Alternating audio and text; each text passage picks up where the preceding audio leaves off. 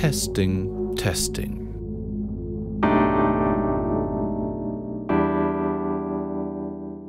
So, jetzt das Großmembran-Röhren-Kondensatormikrofon von Audiotechnica, das AT4060, was nicht mehr gebaut wird.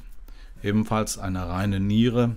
Es hat wie das äh, Behringer fast die gleiche Ausstattung, bloß keinen Koffer. Also es hat ein, gibt ein Kabel dabei, was von dem Mikrofon zu dem äh, Röhrennetzteil geht, äh, weil das immer ein Spezialkabel ist, braucht man das natürlich. Es hat eine Spinne dabei, es hat äh, die schön solide gefertigt ist aus Metall.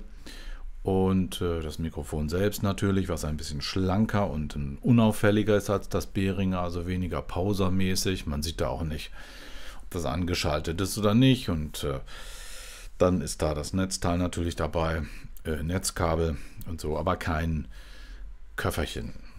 Dafür musste man, denn das Mikrofon wird nicht mehr gebaut, circa das 8, 9, 10-fache ausgeben. Das hat also über 1000 Euro gekostet ich weiß nicht, 1200, 1300, sowas. Also zehnmal so viel wie das Behringer.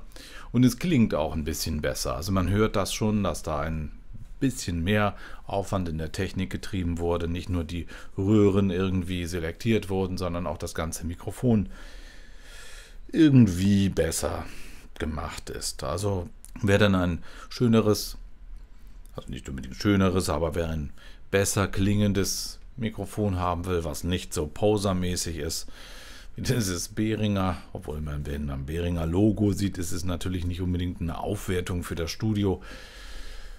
Aber hm, wenn man sich nicht auskennt, sieht es natürlich beeindruckend aus, das Behringer Mikrofon, auch so vom Gewicht. Ne?